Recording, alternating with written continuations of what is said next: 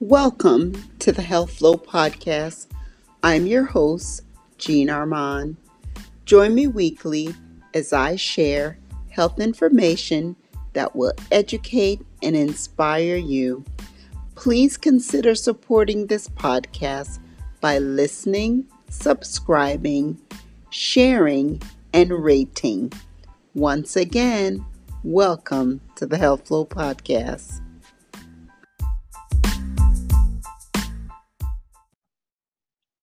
Hello, welcome to the Health Flo podcast. I'm so excited to have my guest, Miss Angela Headen. She is the owner of Educated Lotus. So, and it's educatedlotus.com. So, Angela, um, tell us about yourself. Tell us about your product. We'll talk about you just introducing yourself. Okay, awesome, awesome. Thank you so much for having me. Of course, um, I'm a fan of the the, of the podcast. It's very nice. I like the energy. It's really good. Um, I um started my business from a personal curiosity. Um, I think like most people in this particular area, I've had uh, steam done elsewhere outside the home. Um, my curiosity came from making this an enjoyable environment inside your home for people to take on the the independence of doing this themselves. It did branch off into other products, but it was mostly because I just wanted to not have to drive to Duluth to get a Yoni steam. And at the time, that was all that was available. And I enjoyed my experience, but I wanted to have more flexibility on when I could have that service. Let's um, just back up. What is even a Yoni steam? Some people don't even know what that is. So, a Yoni steam is a vaginal sauna. So, you take the heat from the water and you put herbs inside the water. That herb infused steam um, creates a sauna for the for the vagina and and the womb in the whole perineal area. And so with that becomes uh, beneficial to the heat and the herbs. So there are several things that are standard for a yoni steam. So standard for a yoni steam is going to be, you know, a, a, certain level of maintenance um, detoxification and uh, helping you to strengthen your pelvic floor um, and to um, clean all the venous lakes inside the, uh, the vaginal wall. Okay. Uh, in addition to that, it does help with hemorrhoids, um, uh, anal itching, and any type of engorgement or um, swelling in the area. Now, is it for a specific age? When when can you start Yoni Steam? Um, and, and let me be very frank. My daughter is very. Um, she's eight, and she's very knowledgeable about what I do as far as body maintenance. And I wanted to bring her up in an environment where she was very aware of herself and what was necessary to keep herself healthy. So um, she'll probably start um, her steaming at pubescence. Um, you start uh, yeah, steaming at pubescence all the way until you know till death. I mean, to be quite honest, that is a part of your body that needs maintenance and it should be um, thought of as something that's routine. If you're in the Mayan hills where they've been doing it for 5,000 years, you're going to go pick marigold and um, oregano and uh, chamomile and all those things to do that in your home over top of a hot pot. It's very primitive in those areas, but they've been doing it forever. It's just as commonplace as having like chamomile tea when you're on your cycle and you're having a rough cycle. So this is something that is been done for millennia and lots of other cultures is just something that we think is new and trendy and it's not. Okay. So you can start at pubescence. Right. And um, what are some of the benefits of Yoni steam? So the benefits of Yoni steam is large and it ranges. Um, like I said, the basics is, you know, detoxification, um, any type of health issue, like it helps to decongest the womb. So if you're having chronic yeast infections, bacterial vaginosis, um, if you have PCOS, um, PMS, PMDD, it helps with hormonal balance. It mm-hmm. helps with um, tightening and strengthening the pelvic floor. And a lot of ladies don't realize it, especially after you have children. You know, those areas can become very weak, and we're not mm. practicing you know, all the exercises. So this is a non-invasive way to strengthen the pelvic floor and that musculature that holds everything in place. A lot of time you'll have a rectocele um, or some type of bladder um, displacement in that area, and those steams really help to um, strengthen that area and decongest it. So women don't realize how something so non-invasive um, can be so beneficial. Right. So you're a registered nurse. I am. And so we also we recently started working together. And um, how did you even come about this Yoni steam? Like how what was your motivation to start this? Um, well, it started off with, I, like I said, I had my first steam at Jeju. I had a young child. This is probably about four years ago. My child is eight, so she was about 4 um, mm-hmm. um, I absolutely loved the experience, but I was like, yeah, I'm not driving to Duluth um, at, at four o'clock in the morning, even though it was open. Jeju's open 24 hours. So I was like, how can I do this at home? So I started researching the herbs and started looking up all the different things. I was like, you know, why aren't women doing this? Like, why don't we know about this? This is an awesome experience. And I really think for me, my experience was, although it was next to strangers, um, I really felt like my experience, you know, you know how Jeju is, you're naked next to strangers. I had got my first Yoni steam at Jeju, but I had a girlfriend on each side. I was in there with I think one other person, but they were strange. You know, if you're just in there, you should get those services at Jeju, so you're just having a good time. But I think that for me, I just didn't want to have to make that trek, and I really wanted to have the experience. For me, the experience was not only was it a health a health experience, mm-hmm. not only was it relaxing, but I really felt like it was a type of release I've never had before. So for me, it was quite like I didn't really know how to place the emotion that I had attached to it. Mm-hmm. I think now that I do it at home and I do it quite often. I do it, you know, frequently. I mm. think that um, it's a emotional and spiritual release in addition to being a health maintenance practice. Gotcha. I think women don't realize how much energy we have pent up in that part of our body. And when I am very stressed out, that's what I do. I'll come home and say, "This is the day where I'm going to steam and right. take, you know, take a bath and serving some herbs." So, you know, I think that a lot of women just don't realize how much energy that we hold there. I think we hold just as much energy there as women as we hold in our heart. Wow. So I, I think for me it's a release. I think it's I, I don't think that it's given the credit that it's due. Mm-hmm. It's very therapeutic for me. Wow. And I wanted other women to have that same therapeutic experience and have the access to do it at home and the knowledge and the, and the power to feel like they were independent enough to do it at home. Right. So you you you tried it at Jeju, you loved it, and you started doing your research. I did. I, I researched a lot of the herbs. I researched mm-hmm. a lot of the methods, the different ways in which it's done. If you go, anybody go on Etsy, you'll see a thousand different types of stools. You'll see a whole lot of different types of makeups, mm-hmm. um, and a different, a whole lot of different systems on how to do this at home. Which mm-hmm. I advocate anybody that find the one that's most cost effective to start with and then build on that experience. Right. Okay. All right. So, um, how often are you giving services to women now or just introducing them? Like, how's your business going with that? Um, the, this is my second year in business and it's going quite well. I, I sell out of Arts Market, Magnolia Pink on uh, US Highway 42 in McDonough was Stockbridge. I think they're fighting over the area. So it's sometimes it's McDonough, sometimes it's Stockbridge on the on the, on the Google Maps. But anyway, um, I think that I sell anytime I'm in the building, I usually sell a product. Wow. Um, women are very curious about that. I get um, calls from the owner or somebody working the store while I'm at work just to ask questions. A lot of women are apprehensive. They they're curious, but they're scared, and I I, I want to alleviate all of that fear about you being able to do it at home. So I, I usually sell when I'm there. I do quite well at the market. Mm-hmm. I also have a very loyal client base in an independent studio, hair studio. So I do quite well, especially this year compared to last year. But mm-hmm. I think this year I've formulated a lot more educational material.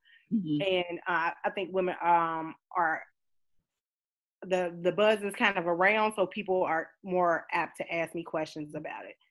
And this year is 2020 so maybe people really had more time to investigate more health products i agree.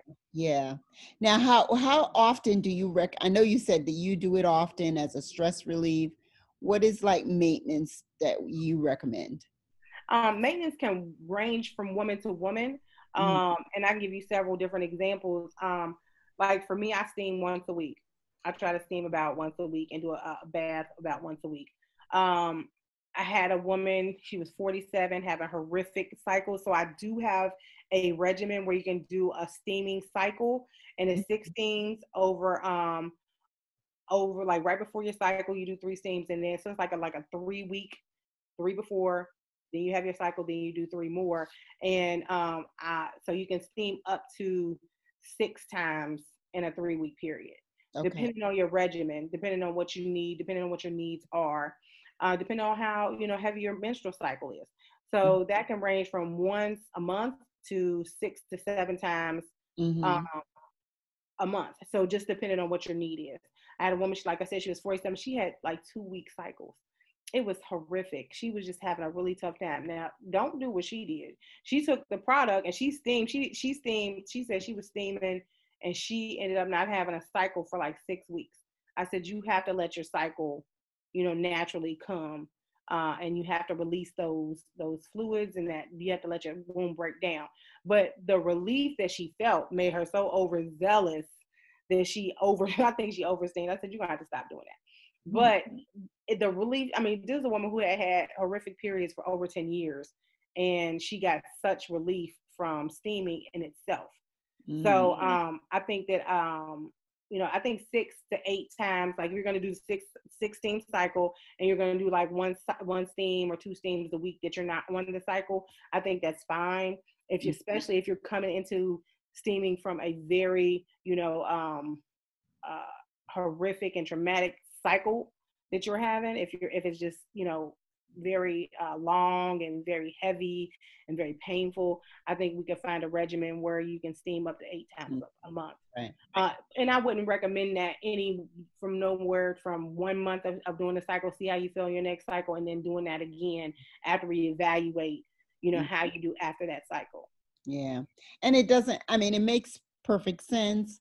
Um, I know back in the day when the women would use the the hot water bottles on their tummies when they were having bad cramps. But you don't even ha- even if you don't have bad cramps, this is you know has nothing it's psych your a difficult cycle is not the only reason to do the yoni steaming this is yeah this is like you're saying tightening uh-huh. you know just providing more um tightening and more circulation increasing circulation in that area yeah more vascular and then i think um, what women don't realize is we don't know like um, a lot of women get a, a, a kick up or a increase in yeast near the, their cycle mm-hmm. and you know i've never seen a gynecologist say to me you know angela you you have a lot more yeast you know right now nobody's ever going to say that to you till it's irritating you but mm-hmm. i think what happens is when you steam your um your the, the color and the amount of your uh, menstrual blood regulates your cycle drops down to four to five days. Um, you have um, a much milder cycle, uh, and you can adjust that based on you know how you know the relief that you need. But I think a lot of women don't realize the the structure of the womb is maintenance by this.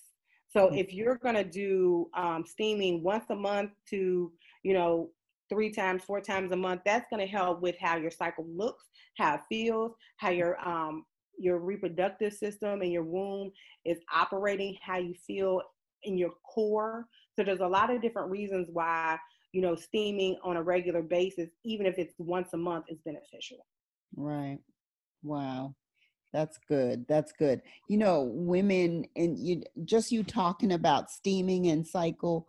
I know how there are women out there that are um, young and old that are suffering, especially with like fibroids and things like that, unnecessarily. Like it's amazing to me how, and I mean, we all have our personal opinion about how we should live our lives, you know, how it affects you to have a hysterectomy versus not having one, you know, just things like that. That's all personal decision. And I, it, there's no right or wrong decision, but it just amazes me the length of suffering that a woman will take the anemia, the mm. fatigue, the tiredness, the cloudy brain, you know, before they say enough is enough. I need mm. to like live better, be better to myself. Like, could you imagine? I don't think that women uh, feel, and it's sad, but I don't think that women feel comfortable mm-hmm. talking mm-hmm. to their gynecologist uh, yeah. right away. And you know, a lot of times we're taught when we're young that this is just your cycle, so you just have to deal with your cycle. And so we end up, you know, later in life just really suffering and thinking that this is a this is the way it's supposed to be. And then you tell your your your PCP like, hey, or your gynecologist, hey, I'm having a rough cycle. They're gonna give you some ibuprofen, and they're gonna say, you know, take this around your cycle. And I don't really think that we are utilizing all of the non-invasive natural products. I've had so many women, and I, and I will advocate for. I had a woman come to me. She wanted to buy um, a starter kit, and I was like, you know, have you ever had one? She's like, yes, I had one at this place, and I actually bought a starter kit. Well, don't buy my products.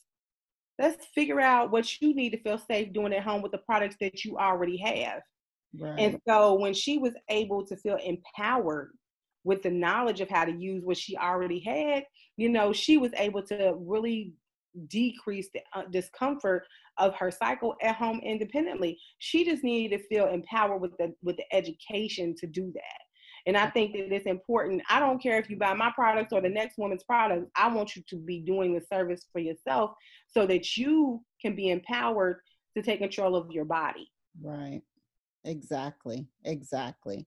And that's what we want for self empowerment, self improvement, self love, self worth, all of that. That's care, yeah, all of that. Care, all of that for women because it, it just amazes me daily how we either take it for so long or we ignore symptoms. And by no means, I want to clearly say that, I mean, the things that we're discussing here never replaces your annual checkup with your your doctor you've following up with any difficulties you're having you're not to suffer you're not to have abnormal pains abnormal periods you know anything you need to get medical clearance make sure you're healthy doing the right things and this is just supportive care. This is maintenance and also prevention because you can prevent being um, vaginal dryness you know, things like that, yeast infections or even bacterial vaginosis, which is just an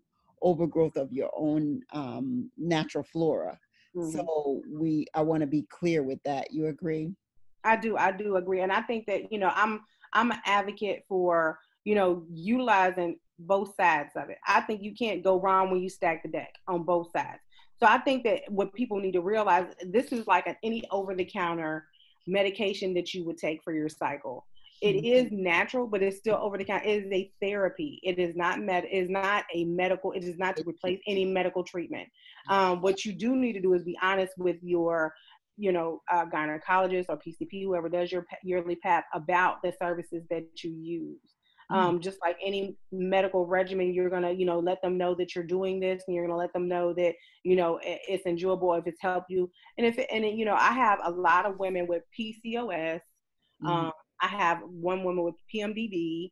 Um, you want to, you know, some people may not know what those those mean, what PCOS okay. stands for. So you want to explain to them? I, so PCOS is polycystic ovarian syndrome, and mm-hmm. so it comes with a lot of different things um, wrapped into one, but mostly it's a hormonal balance. It mm-hmm. can cause, uh, it's got a lot of cysts that grow, multiple cysts inside of your womb. And so they can grow in different areas. It, it can cause, you know, a, a enlarged abdomen. It can cause diabetes. It can mm-hmm. cause visual changes, hirsutism, which is overgrowth of hair. It causes, you know, the hormonal balances can be cause acne, body acne. There's a lot of different things that go along with that. And so mm-hmm. um, a lot of times ladies will come to me and they have had a diagnosis of PCOS. I have one very loyal customer and her cycles have regulated um, her they're not as long they're not as painful um, her actual paps are looking better. I mean i'm not going to say anything is a cure-all but i am going to say because it's polycystic ovarian syndrome what happens is they're not going to go in and remove every time. They're going to realize that this is a chronic condition so this is a therapy for the chronic condition. Right. Pmdd is um oh, what i always get this wrong uh bear with me. Um, dysmorphic disorder premenstrual dysmorphic disorder. So that is an extreme hormonal swing. Mm-hmm. So whether you were light and bubbly the day, you know, five days before your cycle, when your cycle starts to hit, you're very you can become violent you say things that you don't mean there's very yeah. extreme emotional swings with that. And so a lot of times women have to take like um uh, uh, antidepressants or other things to help regulate or um like Ativan and Xanax just to regulate their mood right before their cycle mm-hmm. because they turn into they flip into a whole different person. Right. And so I actually know somebody who suffers from this personally and she has, you know, taken medication for years, but this has helped to really like regulate and calm her down. So steaming right before her cycle is important. Right. To help release whatever energy she has and to also to help regulate her hormones. So there's certain there's the uh, menopause blend, which is a hormonal balancing, and mm-hmm. then there's certain blends that have more estrogen based um, herbs in them that will help her with those type of mood swings. Okay. Well, thank you. So, what else you want to tell us about your products and services? Anything else? Um, I do want to say that um, I am very passionate about women's health, um, and my products are based on products that have been used and sampled by real women that are having real problems. And I don't put anything on the market that I would not use myself, that I would not, and I think about this constantly, that I would not recommend to my daughter at any stage in her life. So I feel like if my daughter was going through menopause, my menopause blend is okay for her. And mm-hmm. I've had women try it. I've had my products time, true, you know, tried and true. They're tested um, with real women that have real problems. And I want women to feel empowered to talk about the things that they're going through and not suffer in silence. I am one of those women that when a woman starts talking about her female problems, I lean in. I mm-hmm. want to know. I want to help. Um, so my products are all based on natural therapies that can help you with, um, you know, maintaining, spiritually releasing, and building yourself up as a woman. Right, and also you don't have to have a problem. You can no. just is just also a maintenance practice, like you said, in conjunction, like self care. Yeah.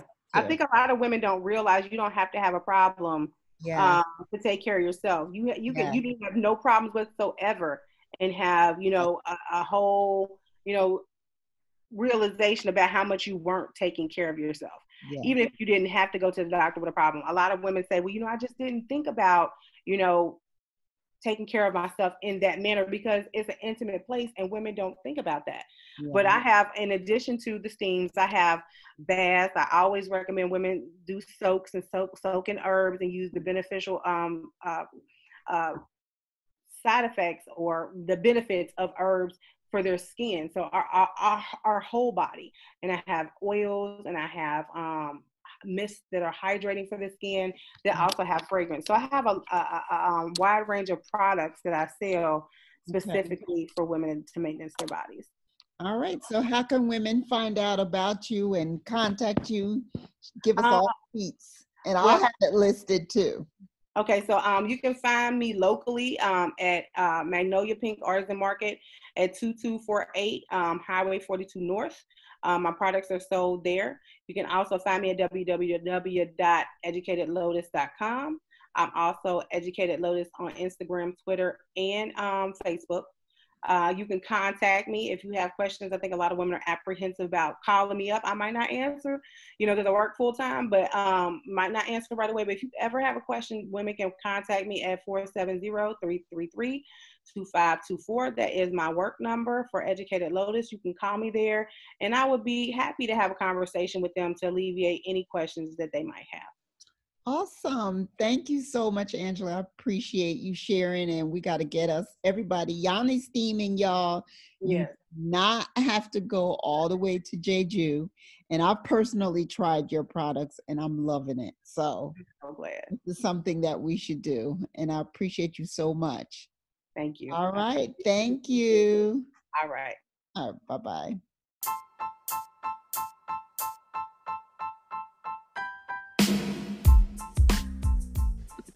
Thank you for listening to the Health Flo podcast. Your support is much appreciated. It is my goal to share health information that you find helpful.